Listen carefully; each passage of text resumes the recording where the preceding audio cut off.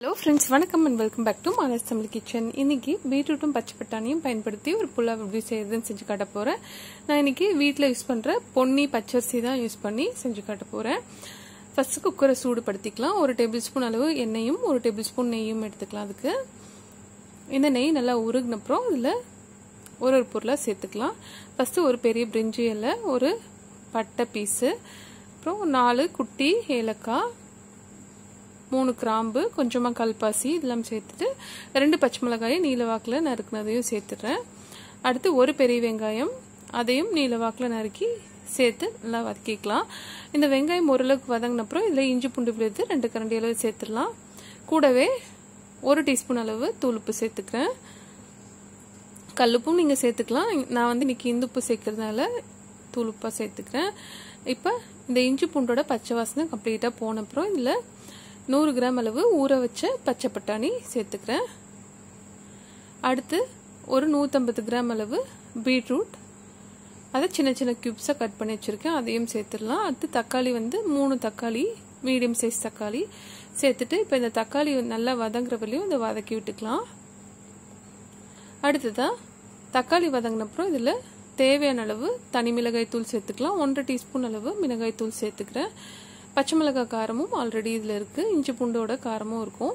இந்த அளவு காரம் சேர்த்தா கரெக்டாக இருக்கும். மைல்டான காரத்தில் தான் இருக்கும் இது. அதிகமான காரத்தில் இருக்காது. பசங்களாம் சாப்பிட்றதுனால. இப்போ இந்த மிளகாய் தூள் சேர்த்தப்புறம் கொஞ்ச நேரம் இதை வதக்கி விட்டுட்டு நம்ம இதில் தண்ணி சேர்க்க போகிறோம் இந்த டம்ளரால் ரெண்டு டம்ளர் அளவு அரிசி எடுத்தேன். ஸோ மூன்று டம்ளர் அளவு தண்ணி சேர்க்கணும். நான் வந்து இஞ்சி பூண்டு விழுது ஃப்ரெஷ்ஷாக அரைச்சதுனால அந்த மிக்சியை வாஷ் பண்ண தண்ணி வந்து ஒரு ரெண்டு டம்ளர் அளவு சேர்க்குறேன். அதுக்கப்புறம் எக்ஸ்ட்ராவாக ஒன்றரை டம்ளர் அளவு தண்ணீர் சேர்த்துக்கிறேன்.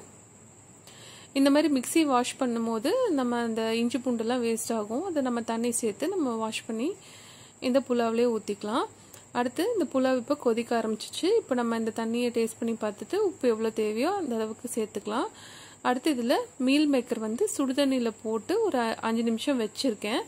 அதை வந்து நல்லா தண்ணி வடிகட்டிட்டு அதையும் சேர்த்துக்கலாம். இது ஆப்ஷனல் தான். சேர்க்கணும்னு அவசியம் இல்லை. சேர்த்தாலையும் நல்லாயிருக்கும்.